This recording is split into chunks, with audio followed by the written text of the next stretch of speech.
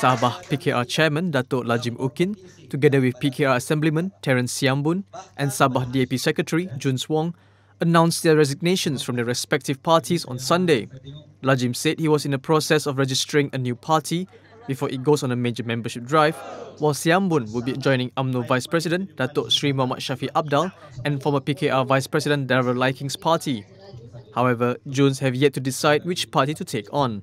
Lajim said the mood in Sabah was for local-based parties to take on the Barisan-led state government, as the national opposition was too preoccupied with national issues to look into Sabah needs. The resignations have left PKR with two assemblymen, while DAP others left with two elected representatives.